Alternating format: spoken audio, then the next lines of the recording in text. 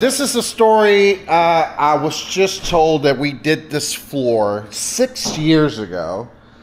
Here's our woodcrete. They have pets. That's Miss Tina and John, the owners of this amazing house. Is the first time I've stepped into it and seen it because we came pre-construction and they have pets and she loves it. I love it.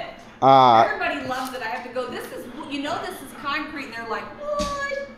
That is freaking awesome. Awesome, awesome. We did it six years ago. It still looks like the day we finished. Yep. And that is fantastic. So stay tuned because we're going to be doing the pool deck and uh, we're going to refresh the front and back porch. And I'm going to be taking pictures. So stay tuned to the channel. Tina. To be able to come out here and see you guys and like take take a look at how freaking cool this is.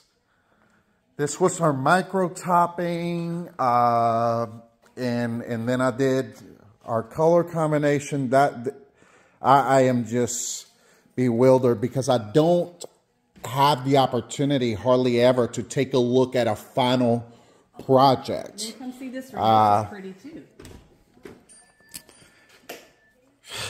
Yeah, I remember.